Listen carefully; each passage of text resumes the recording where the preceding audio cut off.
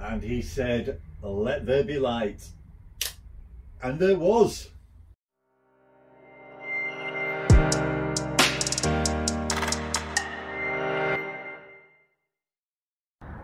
This is my relatively untidy garage and it's illuminated by four of these five foot fluorescent tubes.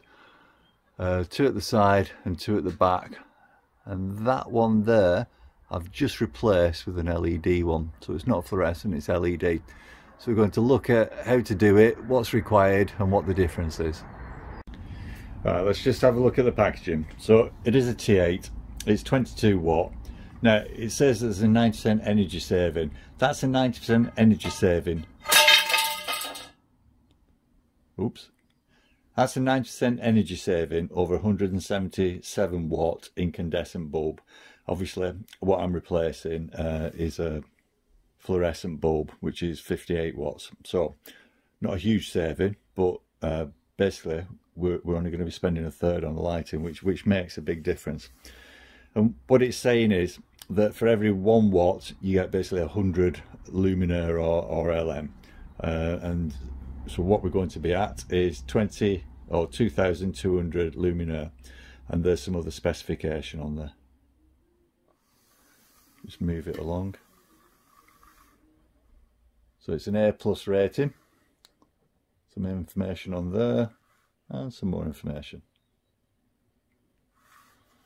and it says that the lighting is uh, 6000 K so that's the that's the the color of it so it's a white light, not a yellow light. Don't like yellow lights. That's the other thing that you get with a fluorescent, a yellow light.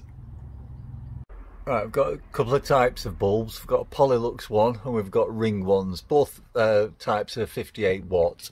And as you can see, they've been in use for quite a while. Uh, so they're T8s, if I'm not mistaken.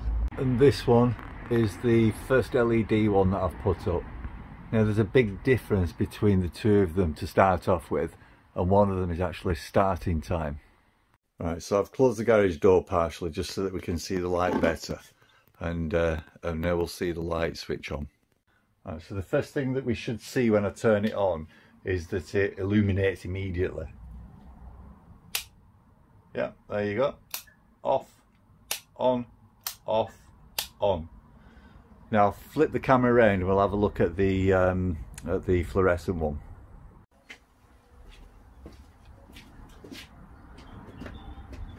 Right, so I'll have to raise my voice a bit because I'm over here now at the light switch. But when I switch on, the first thing that you should see is it doesn't illuminate immediately. There's a pause, then there's a flicker, then it comes on. The second thing that you won't see because we're not going to have the camera on it long enough is all fluorescence, whether it's one of these tubes or whether it's one of the compact fluorescent bulbs which I did have all over the house but I've replaced them with LEDs purely and simply for this reason not only do they give off a yellow light but they start dimly and as they warm up they get brighter and it's only when they're fully warm that they get to the to the peak brightness. So let's just have a look when I switch it on. See it flicker and then it comes on. The LED over there was on immediately. So we'll do this again, switched off, switch it on, and it's on. Now, as I said, that's, that's, it's not dim, but it's not as bright as it will be. It has to warm up over a period of time. Last time. There you go. As it warms up, it gets quicker at coming on, but obviously when you're coming into a room, it's not going to be warm or when you come into the garage it's not going to be warm because it's not been on and that's the whole purpose of putting the light on. As with all tubes they're easy to take out, you basically turn them and they should drop out through the slit in either side. I'll just pop that there. This is the LED one. Something to take into account is it's basically a strip of LED lights that run across the top. So when you when you're turning it, you want to make sure that those LEDs are at the top, otherwise it's shining upwards. So let me just, uh, just make sure that it's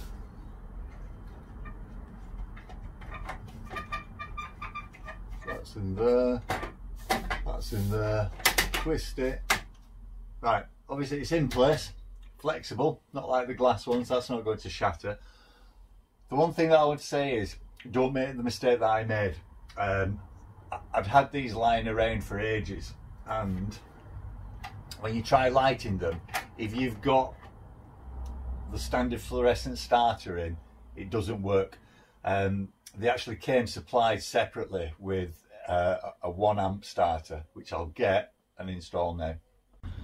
Uh, here's the starter that I took out of the fluorescent. Now, from memory, I can't remember, it's something like a 50 watt to, to something or other, I can't remember. But that will not power, um, or that will not start one of these LED ones categorically. You need this chappy. And that's the information on there.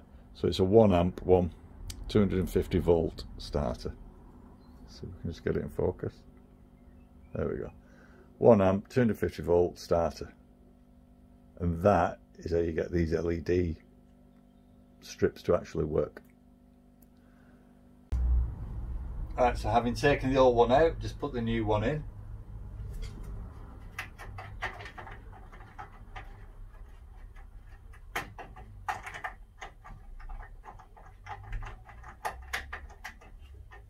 As easy as that.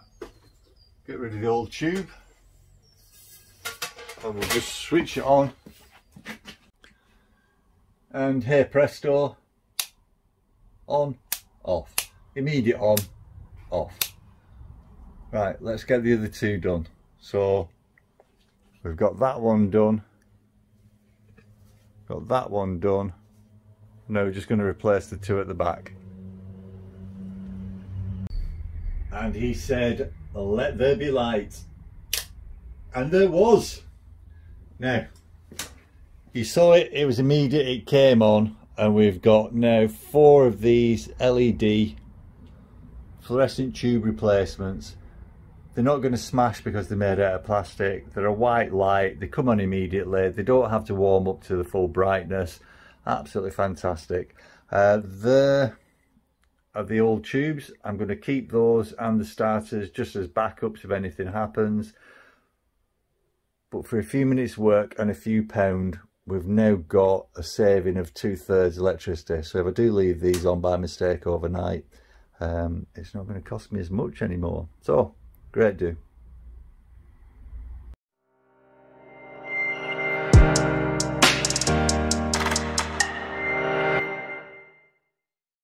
the first thing that we should see when I turn it on is that it illuminates immediately.